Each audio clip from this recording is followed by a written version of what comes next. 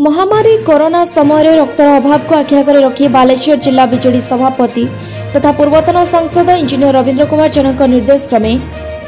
ବସ୍ତା ନିର୍ବାଚନ ମଣ୍ଡଳୀ ଅନ୍ତର୍ଗତ ବାଲିଆପାଳ ବ୍ଲକ ଅଧୀନସ୍ଥ ଯମୁନାଶୂଳ ପାନ୍ଥନିବାସଠାରେ ଯୁବନେତା ହାଡ଼ିବନ୍ଧୁ ରାଉତଙ୍କ ପ୍ରତ୍ୟକ୍ଷ ତତ୍ତ୍ୱାବଧାନରେ ଓଡ଼ିଶା ମୋ ପରିବାରର ଜିଲ୍ଲା ସଂଯୋଜକ ମହମ୍ମଦ ସାହିରୁଲ ହକଙ୍କ ସହଯୋଗରେ ଓଡ଼ିଶା ମୋ ପରିବାର ଓ ଜୀବନବିନ୍ଦୁ ଆନୁକୂଲ୍ୟରେ ଏକ ରକ୍ତଦାନ ଶିବିର ଆୟୋଜିତ ହୋଇଛି। ଏହି ଶିବିରକୁ ବିଜେଡିର ବରିଷ୍ଠ ନେତ୍ରୀ ତଥା ରେବତୀ ପତ୍ରିକାର ସମ୍ପାଦିକା ସମାଜସେବୀ ସୁବାସିନୀ ଜେନା ଉଦ୍ଘାଟନ କରିଥିଲେ। ଓଡ଼ିଶା ସରକାରଙ୍କ ମାନ୍ୟବର ଶକ୍ତିମନ୍ତ୍ରୀ କ୍ୟାପ୍ଟେନ୍ ଦିବ୍ୟଶଙ୍କର ମିଶ୍ର ପର୍ଯ୍ୟଟନ ଓ ସଂସ୍କୃତି ମନ୍ତ୍ରୀ ଜ୍ୟୋତିପ୍ରକାଶ ପାଣିଗ୍ରାହୀ ବସ୍ତା ବିଧାୟକ ନିତ୍ୟାନନ୍ଦ ସାହୁ ବିଜୁ କୃଷକ ଜନତା ଦଳର ଜିଲ୍ଲା ସଭାପତି ଅଜୟ ସାମଲ ରାଜ୍ୟ ଯୁବ ବିଜେଡି କାର୍ଯ୍ୟକାରୀ ସଭାପତି ଶୁଭେନ୍ଦୁ ଦାସ ମଙ୍ଗରାଜ ବାଲିଆପାଳ ବ୍ଲକ ବିଜେଡି ସଭାପତି ଗୋବିନ୍ଦ ପ୍ରସାଦ ବାରିକ ବିଜେଡିର ବରିଷ୍ଠ ନେତା ବଳରାମ ସାହୁ ବିଜୁ ଛାତ୍ର ଜନତା ଦଳର ଜିଲ୍ଲା ସଭାପତି ସିମନ ଦାସ ମହାପାତ୍ର ବିଜୁ ଯୁବ ଜନତା ଦଳର ରାଜ୍ୟ ସମ୍ପାଦିକା ଲଗ୍ନଦୀପ ମିଶ୍ର ପ୍ରମୁଖ ଯୋଗଦେଇ ରକ୍ତଦାତାମାନଙ୍କୁ ଉତ୍ସାହିତ କରିଥିଲେ। ଶିବିରରୁ ମୋଟ ପଞ୍ଚଷଠି ୟୁନିଟ୍ ରକ୍ତ ସଂଗ୍ରହ ହୋଇଥିଲା ବ୍ଲଡ ବ୍ୟାଙ୍କ ବାଲେଶ୍ୱର ରକ୍ତ ଭଣ୍ଡାରର ଅଧିକାରୀ ଡକ୍ଟର ମହେଶ କୁମାର ବିଶ୍ୱାଳ ଟେକ୍ନିସିଆନ୍ ସୟଦ ଦିଲଦାର ସହାୟକ ହେମଲତା ସେଠୀ ଅଜୟ ମହାପାତ୍ର ବିଦ୍ୟାଧର ସାହୁ ପ୍ରମୁଖ ରକ୍ତ ସଂଗ୍ରହ କରିଥିଲେ। ଦେଖନ୍ତୁ ମୁଁ ଅତ୍ୟନ୍ତ ସାଧୁବାଦ ଦେବି ବାଲିଆପାଳ ବ୍ଲକର ବିଜୁ ଜନତା ଦଳର ସମସ୍ତ କର୍ମକର୍ତ୍ତାଙ୍କୁ। କାରଣ ଏହି ନିକଟରେ ଯେଉଁ ବାତ୍ୟାର ପ୍ରକୋପ ଏଠି ବହୁମାତ୍ରାରେ ଦେଖାଦେଇଥିଲା ତା ସତ୍ତ୍ୱେ ମଧ୍ୟ ଏ କରୋନା କାଳରେ ସମଗ୍ର ବିଶ୍ୱ ଭାରତ ତଥା ଓଡ଼ିଶା ଏବଂ ବାଲେଶ୍ୱର ଜିଲ୍ଲା ମଧ୍ୟ ସେଥିରେ କବଳିତ ସେଇଭଳିଆ ସ୍ଥିତିକୁ ଲକ୍ଷ୍ୟ କରି ଏଠିକା ଅଞ୍ଚଳବାସୀ ସର୍ବୋପରି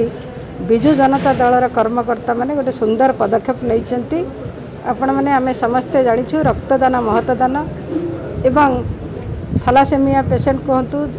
ଯେଉଁ କ୍ୟାନ୍ସର ପେସେଣ୍ଟ କୁହନ୍ତୁ କି ସାଧାରଣ ଏକ୍ସିଡେଣ୍ଟ କଥା କୁହନ୍ତୁ ରକ୍ତର ଅଭାବ ବହୁମାତ୍ରାରେ ଦେଖାଦେଉଛି କାରଣ ଏଭଳି ମହାମାରୀ ସମୟରେ କେହି ରକ୍ତଦାନ କରିବାକୁ ସେମିତି ସ୍ୱଇଚ୍ଛାରେ ଆଗଭର ହେଉନାହାନ୍ତି। ତାକୁ ଆଖି ଆଗରେ ରଖିକି ଏଠିକାର ଦଳୀୟ କର୍ମକର୍ତ୍ତାମାନେ ଯେଉଁ ପଦକ୍ଷେପ ନେଇଛନ୍ତି ମୋ ଅନ୍ତରର ନିଭୃତ କୋଣରୁ ମୁଁ ସେମାନଙ୍କୁ ସାଧୁବାଦ ଧନ୍ୟବାଦ ଦେଉଛି।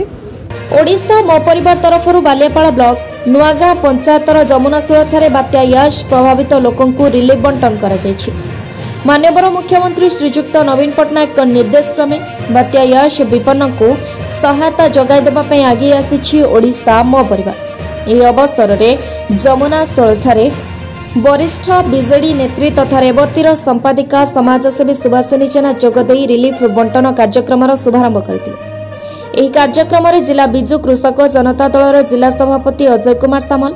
ରାଜ୍ୟ ଯୁବ ସମ୍ପାଦିକା ଲଗ୍ନାଦୀପ ମିଶ୍ର ପୂର୍ବତନ ବ୍ଲକ ଅଧ୍ୟକ୍ଷ ଅଶ୍ୱିନୀ କୁମାର ଜେନା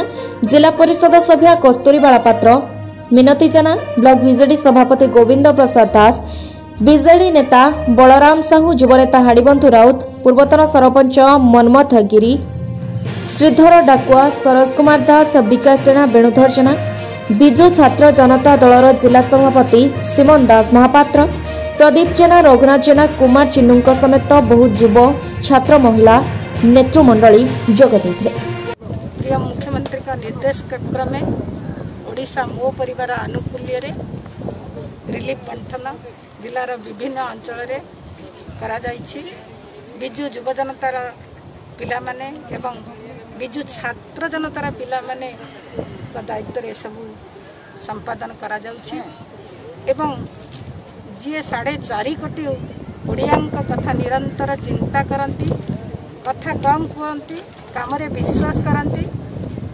ତାଙ୍କର ଇଚ୍ଛା ସମଗ୍ର ଓଡ଼ିଶାବାସୀ ଖୁସିରେ ଶାନ୍ତିରେ ରୁହନ୍ତୁ କେହି ଅସୁବିଧାରେ ନ ରୁହନ୍ତୁ ତାକୁ ଆଖି ଆଗରେ ରଖି ସେ ଯେଉଁ ରିଲିଫ୍ ସବୁ ପ୍ରଦାନ କରିବା ପାଇଁ ନିର୍ଦ୍ଦେଶ ଦେଇଛନ୍ତି ତାକୁ ଆମ ଜିଲ୍ଲାର ଯିଏ ଅଛନ୍ତି ସଭାପତି ଶ୍ରୀଯୁକ୍ତ ରବୀନ୍ଦ୍ର କୁମାର ଜେନା ଏବଂ ଜିଲ୍ଲାର ସମସ୍ତ ବିଧାୟକ ମନ୍ତ୍ରୀ ସମସ୍ତେ ଦାୟିତ୍ୱ ନେଇ ବିଭିନ୍ନ ଅଞ୍ଚଳକୁ ପିଲାମାନଙ୍କୁ ପଠାଉଛନ୍ତି ଏବଂ ରିଲିଫ୍ କାର୍ଯ୍ୟ ସୁଚାରୁ ରୂପେ ସମ୍ପାଦନ ହେଉଛି। ଧନ୍ୟବାଦ। ବାଲିଆପାଳରୁ ଗୋପନାରାୟଣ ଜେନାଙ୍କ ରିପୋର୍ଟ ଅଭୟ ନ୍ୟୁଜ୍ ଓଡ଼ିଶା।